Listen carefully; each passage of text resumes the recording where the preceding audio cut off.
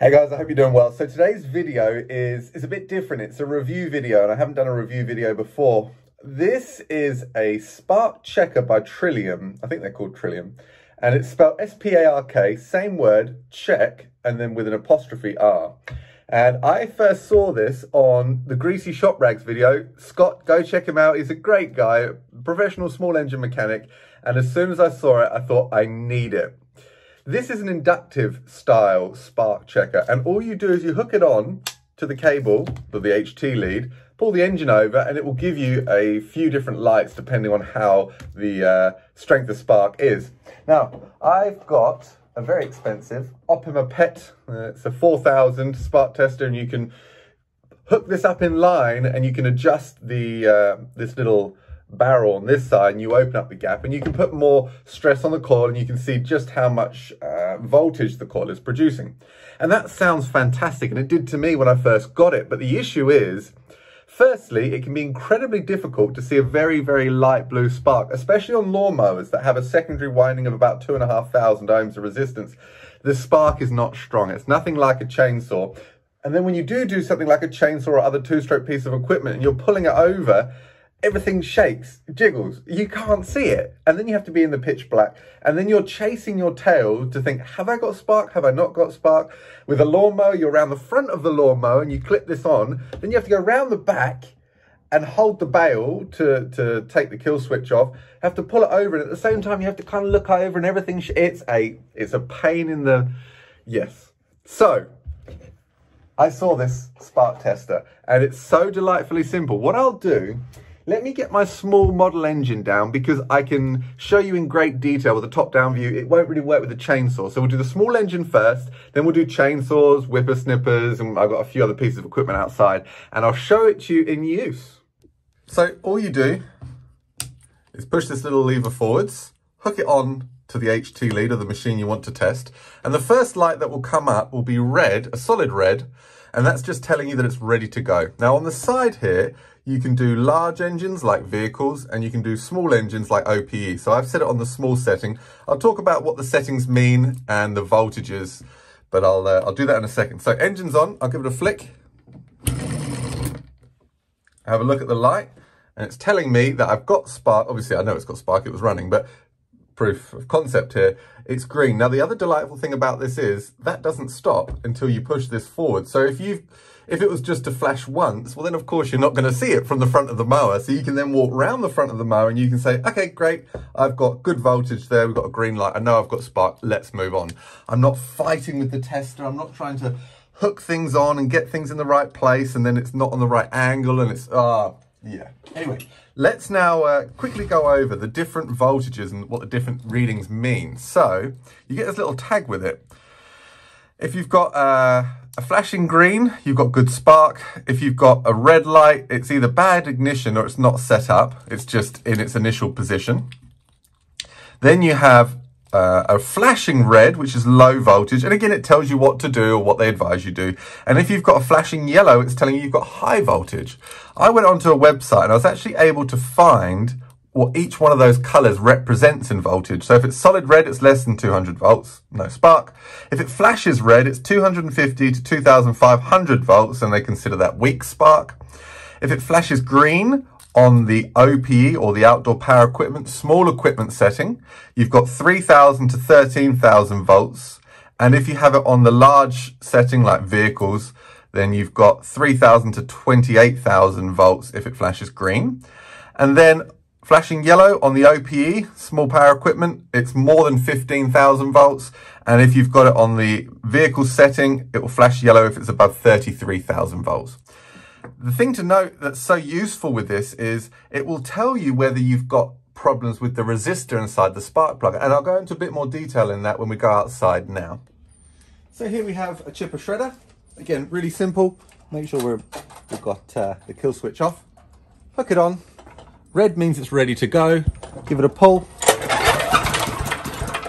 Straight on to green. I've got good spark. Don't have to worry about it.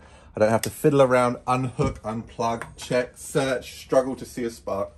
Now let's move on to the mower. Let's spin you around on that one. I need to hold the bail, I'll do that in a second. Now you imagine you're working on this with an inline spark tester.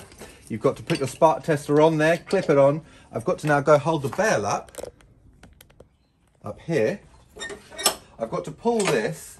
I've got to hold the mower steady. I've got to look over and try and see what's going on.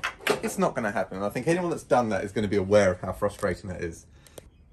Now notice the colour on the lawnmower.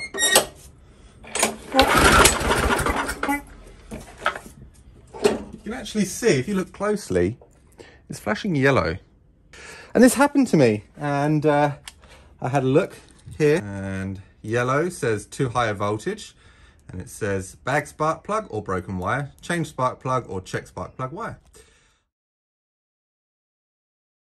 So now I'll put the inductive spark tester on, spark checker, give it a pull. Now look at the colour. I spoke to my friend Kenny from Ken Small Engines. Go check him out as well.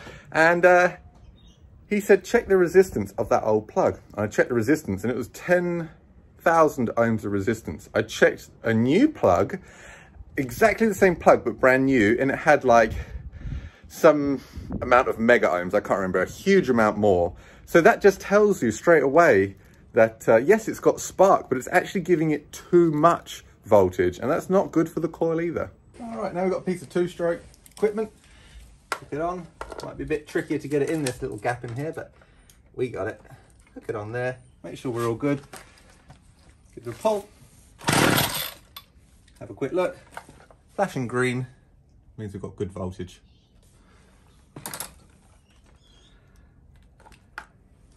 So then we've got the Victa Whipper Snipper. I'll just pop the air filter off because it's going to give me a bit more space to get to the HT lead or the air filter cover give her a pull. Again, straight onto green. I know straight away that's got spark. I don't have to spend five minutes hooking things up, searching, being a contortionist to try and actually view that spark. So of course, like everything, there are advantages and disadvantages as to what this, this can offer you. The advantages we've already been through. It's so convenient, it's so quick, it's so easy, it's so user friendly and uh, it gives you a lot of information in a very short period of time. It's perfect for anyone that wants to diagnose equipment or a spark issue very quickly and conveniently. The disadvantages, it's very expensive. It's about 100, about 100 Australian dollars. I don't know what that is in US. I'd guess it's about 70 US dollars. So you do have to put a bit of an outlay. But if you are repairing one piece of equipment, you'll cover it back in the, in the first piece of equipment you repair. The second thing is it's not uh, a, a, tester that can load an, a, a, coil up to really tell you what it can and can't uh, produce in terms of voltage. Whereas the Optima uh, tachometer that you can increase the distance between uh, these two probes, in fact there's three on here, the, the probes on there, you can have the machine running and you can open it out, out, out, out, out, out until the engine dies and that will tell you exactly how much voltage the engine or the coil is able to produce. So, do you know, honestly, if I was to have one, I would choose this because it's so convenient, so quick, so easy. I think this together as a pair is a fantastic option. This is quick diagnosis. This is a bit more in-depth as to what's going on. The advantage really for this is the fact that you can load the coil up and see what voltage it's producing. Beyond that, it's it's a pain. It really is a pain. So uh, that's my thoughts on the Trillium USA made inductive style spark tester. I'm, this is not sponsored, they haven't sent it to me, but I just love it so much that I couldn't wait to share it on the channel. So two things, I love it. And the second thing is a shout out to Greasy Shop Rag, which is where I saw this from. And uh, go check his channel out as well. He's a great bloke. Scott, he uh, does lots of top-down views of when he's repairing equipment in uh, the shop that he works at. So there we go. Hope you enjoyed it.